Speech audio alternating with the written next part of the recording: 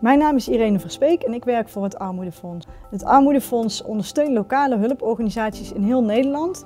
Uh, en dat doen wij in de praktijk met uh, financiële bijdragen, maar ook met voorlichting en projecten. Het werk van de lokale hulporganisaties uh, is in de praktijk heel erg belangrijk, omdat deze organisaties ervoor zorgen dat, dat mensen toch inderdaad hun hoofd boven water kunnen houden. en op het moment dat zij er niet zouden zijn, dan zouden de problemen zeg maar, verder uit de hand lopen. En dus zij vervullen echt maatschappelijk echt een grote belangrijke rol. Het Armoedefonds heeft een aantal projecten waarmee we ook lokale hulporganisaties ondersteunen in het bestrijden en verzachten uh, van armoede. Eén project is bijvoorbeeld de schoolspullenactie, waarmee we kinderen helpen die in armoede leven en starten op de middelbare school. Uh, een ander project wat we hebben is uh, een project op het gebied van menstruatiearmoede. Ook dat is een project wat we met lokale hulporganisaties aan het opzetten zijn het Armoedefonds heeft uh, nu tijdens de coronacrisis tweemaal onderzoek gedaan naar de impact van de coronacrisis op armoedebestrijding en op armoede in Nederland. Wij zien terug dat uh, een groot deel van de lokale hulporganisaties, ongeveer 46 procent, nu al te maken heeft met de stijging van hulpvragen.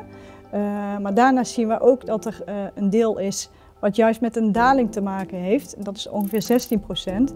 En juist dat vinden wij ook een belangrijke conclusie, omdat het eigenlijk gek is dat uh, wanneer de armoede uh, in het land toeneemt, dat er uh, toch hulporganisaties zijn die minder hulpvragen krijgen. We denken dat dat met meerdere zaken te maken heeft. Allereerst denken we dat mensen door de coronacrisis ook wat meer in hun schulp kruipen en ja, nog niet zo snel een hulpvraag neerleggen. Uh, daarnaast zien we dat de signaleringsfunctie bij een aantal uh, hulporganisaties, maar ook bij de gemeente, uh, ja, deels wegvalt. En organisaties die mensen helpen met de schulden en financiële administratie, die zien het echt als een soort stilte voor de storm. Als je kijkt naar de nieuwe groepen die in beeld komen door de coronacrisis, dan is de belangrijkste groep de ZZP'ers en de ondernemers. Dat is een groep die zich bijvoorbeeld nu ook meldt bij voedselbanken. Je ziet dat door de coronacrisis uh, de lokale hulporganisaties het moeilijk hebben. Stel dat de coronacrisis duurt tot uh, oktober 2021. Wat is nou uh, nodig financieel? Daar komt een enorm bedrag uit, dat is ongeveer 28 miljoen euro. Dat is de optelsom van wat alle lokale hulporganisaties verwachten nodig te hebben om die stijging van hulpvragen ook echt daadwerkelijk aan te kunnen.